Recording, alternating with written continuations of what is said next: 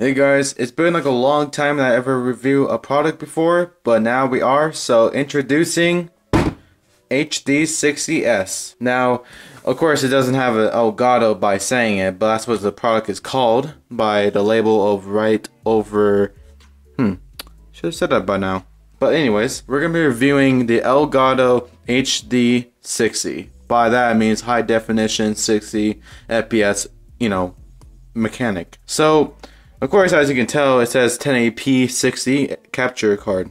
So, if you don't know what it is, it's technically meant for PS4, Xbox, and and Nintendo Switch. So that means you can be able to stream this off from your laptop, and yeah, that's how the whole Elgato works. You can be able to stream 1080p 60 FPS and of course it works on USB 3.0 and it's an instant um, game game view and yeah so anyways make sure you all comment down below how you guys like this product so far and without further ado let's unbox anyways so we have to unbox from the top so oh yeah oh yeah don't forget look at look at the back so cool it has like a lot of cool information in the back. If you guys are interested to pause, feel free to pause because you need to look in these infos in the back before you, you know, get these. So anyways, let's unbox these. Alright, so we have to get the top. So, okay. So, how do I get this? Okay, so you have to pull this. Okay, you have to pull this and then we pull this out. Oh, oh, oh wait, it has tape over it. I could just pull it off.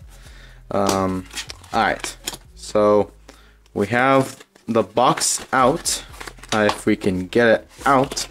Alright, throw this box away. Alright, so it has an Elgato logo on it and looks pretty sick.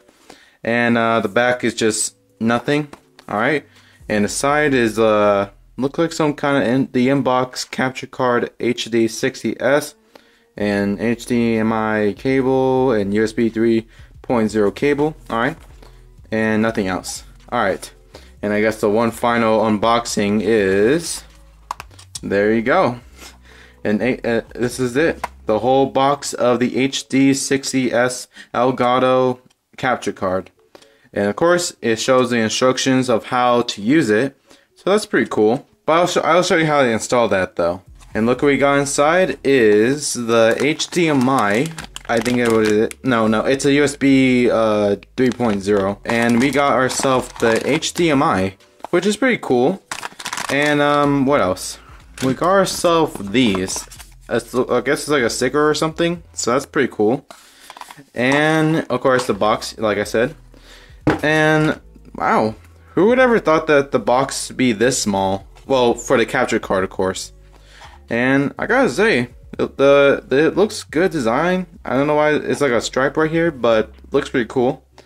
And it has a HDMI in and HDMI out. So that's pretty cool.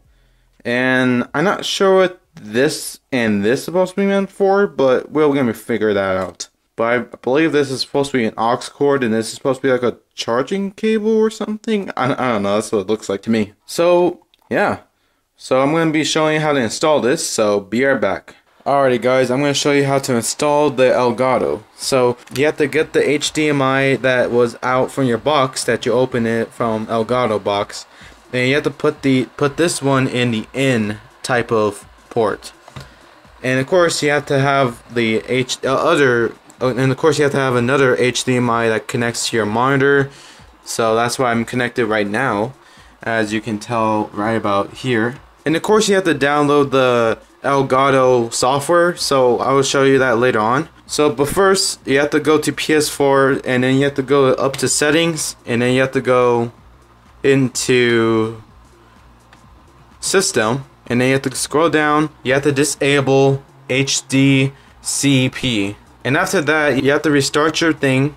So you have to like go power and restart, so you can be able to restart your whole, you know, PS4 and we're going to be switching to the PC right now. Alrighty guys, we're in my laptop and um, I'm going to be showing you how to install Elgato. So what you have to do is search up Elgato, which is this website right here, elgato.com, and you'll be sent to this website here. So on the upper right corner, you'll see downloads. So you have to like go to downloads and you have to scroll down and then until you find these two options. You have to like make sure you pick the right capture card. So if you have like a HD 60s or an HD 60s plus, you pick one of these options. Like whatever the wherever the capture card you pick from, you have to pick the exact same capture card as your product for you to order download. And of course, there's two options for you to order to pick either Mac or Windows. I'm on Windows, so I'm going to be picking Windows. So it'll, it'll pop up these two options. So these are like the 4K capture, and this is the game capture right here. So for you to download this, you have to click this download logo right there. So just press download, and it shows thank you for downloading, and it shows this downloading option right here.